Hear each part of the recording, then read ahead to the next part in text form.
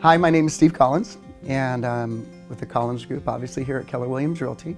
And um, a few people know a little bit about my past, a lot of people don't. And I think the thing that I get asked a lot is why are you always so happy? Why are you in such a good mood all the time? I've even had somebody mad at me. They say, you know, why are you always in a good mood? And it's funny, perspective will do that to you. You know, it's just the perspective that you have on life. So the story began years and years ago, and I'll make it super short, and that was my father was a decorated war hero in Vietnam, a helicopter pilot, you know, Purple Cross, Distinguished Flying Cross. And yet he married my mom, went to Vietnam, and when he came back, uh, I was there, you know, so she got pregnant like on a honeymoon. So he came back to a family and he came back really stressed out. And so not really having that father kind of figure, and then the one that was there was, was kind of brooding and overbearing. So I sought, as I was growing up, approval from, uh, you know, my peers pretty much it. And it led into me being hyperactive at the time they called it back then. I'm 44, so when I was younger, they called it hyperactivity, so they put me on Ritalin when I was really, really young. And um, so that made me not hungry. I never wanted to eat, so I was the skinniest, tiniest little kid at the school.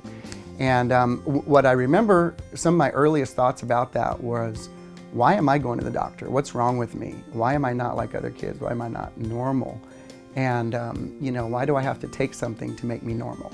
And uh, so it was, it was, you know, early thoughts of doubting myself, my self-image, and just thoughts about who I was as a person and what was wrong with me. Why couldn't everybody just be hyper and happy, you know? Um, I was at a Catholic school at the time and it was all nuns and um, I was the disruptive force. That was, you know, kind of disruptive force. So as the disruptive force, I remember thinking to myself, something's wrong with me. Why do I have to take medicine to be normal? And uh, my sixth grade year, I transferred to a public school, and it was during that time that, because I was the littlest, tiniest guy, um, I was like the bullseye for bullies. And so I got bullied and bullied and bullied. That's when I started using drugs, you know, to kind of fit in. I had been off the Ritalin, and while others were using drugs to kind of catch a buzz or feel good, it was like my self-medication. It allowed me to kind of just be at a normal state because I wasn't hyper anymore. Um, and the problem with that is it became progressive and progressive and progressive, and it just kept getting worse and worse and worse. And my uh, senior year in high school, I'd been dating for about two years, my girlfriend, and uh, we discovered that she got pregnant. And so I got rebellious and told my parents, that's it, I'm gonna get married, I'm gonna have a family. And I was like a total idiot. I didn't know anything. I thought I knew everything. And so, you know, we, uh, you know, picked up a, a license at the courthouse and, and we tried to go this thing. And because of my drug use, it kept getting worse and worse. And I remember during that time feeling uh, elated that there was a child coming into the world and at the same time feeling this incredible sense of dread that um, I, I, honestly didn't, you know, I, I knew I couldn't stop using drugs at that time. And so I had this horrible dichotomy going on where I wanted to be this great father and husband, but I couldn't because I had this addiction that was just an unbreakable thing. And it wound up with terrible fights over the year. She ended up separating from me and getting pregnant from another guy. And I wound up in the state hospital here in San Antonio, Texas, in a place called Goyens Hall. And it was during that time, it was the lowest of the lowest of the low. She had disappeared. My daughter was gone. I didn't know where they were. I knew she was pregnant from some other guy and, you know, sent me divorce papers. And here I am locked up in the state hospital. And it was, it was during that time there, I remember my lowest low was laying on a gurney in the detox room next to a guy who was detoxing from heroin. And, you know, he's throwing up on himself. I'm laying in here, hot tears running down my cheeks. And the sense that I have is, uh, you're a worthless human being. You are a liability to everybody. You're a horrible father, you're a horrible son, you're a horrible husband, you're a horrible human being. You're worthless to society. I mean, you have no redeeming value at all. And I remember owning this and just, just crying hot tears because I thought, I'm more of a benefit to my parents dead because maybe at least I'll have insurance money and I didn't want to live.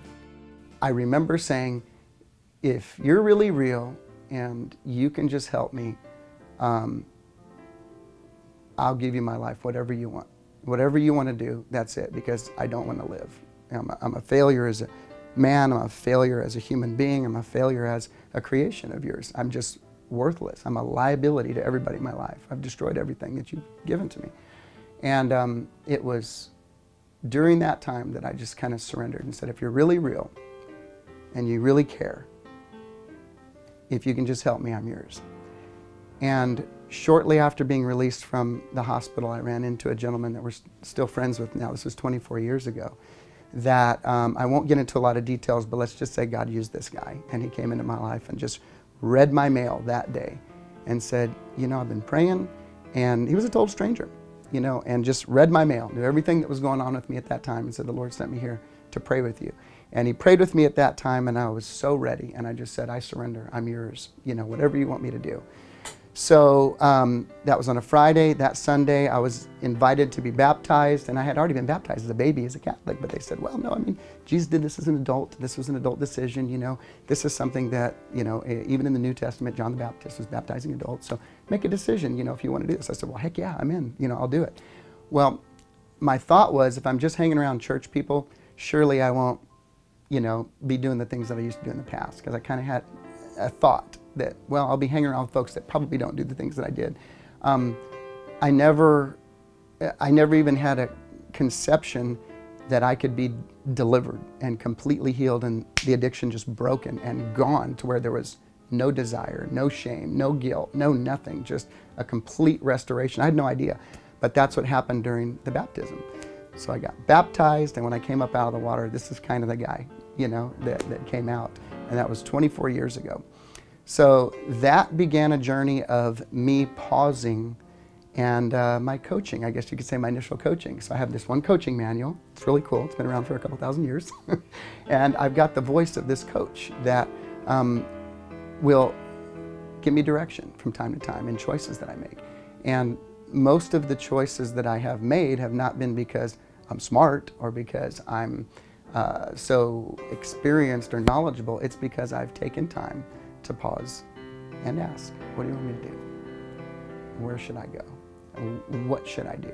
Because um, that agreement I made laying in that gurney in the state hospital guides me every day, which is if you'll just help me, I'm yours forever. Whatever you want me to do, I'm going to do it. And um, that led me to starting a Bible study years ago. And um, I felt impressed strongly to just reach out to the top agents in San Antonio, and Craig Owen and I had an opportunity to meet and visit, spend some time together, and we did that for a couple of years. And that's when he was going to be coming on board as a team leader, so we had a conversation. He says, Why don't you come by over here and, and with uh, Keller Williams? And I said, Absolutely, I'll do that. I noticed that when I got to Keller Williams, the values were God, family, and business. And what I recognized is that, um, you know, that's kind of like saying, spend less than you make. That's kind of like saying um, burn more calories than you take in. I mean, in theory, it's perfect and brilliant. And for the most part, I observed it to be uh, rhetoric, where it was just, you know, it was a neat saying. So the last um, 12 to 13, yeah, last 10 years here, I've really purposed to make that uh, real for me. And having a family now, having seven children, being married to Angela, be 18 years the ability to do that has been and will be an ongoing challenge. But the fact that I am connected to a company who says from the owner, here's our value system. Um, this is the guidance that Gary Keller's put out there. Here it is. And I know that can mean a lot of things for a lot of people. And I'm like, totally cool with that. Everybody's got their own way of approaching that. My way is, is very simple, is what do you want me to do today, Lord? How should I go about this? What are we doing today, Dad? You know, what are we going to do today? And living that adventure and following the path of what I feel like is my shepherd's voice and being led in that direction. And then when business and um, family come up as a challenge, I just speak it. I just go, my values are God, family, and business, so I'm going to choose family.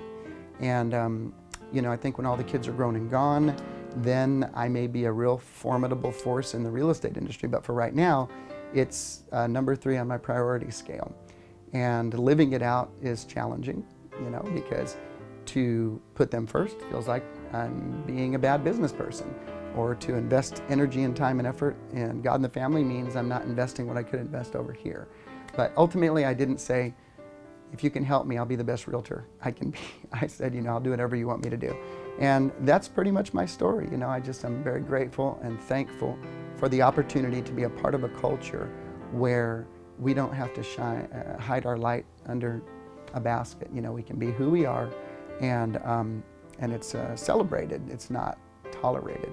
And um, having a heart for everybody in this company to see them become better has been very motivating to me. I, have been able to expand beyond my family and really focus on doing what I can to give back to the company, whatever I may have. Whatever good is there, um, I'm happy to share as much as I can. And that's the story of me.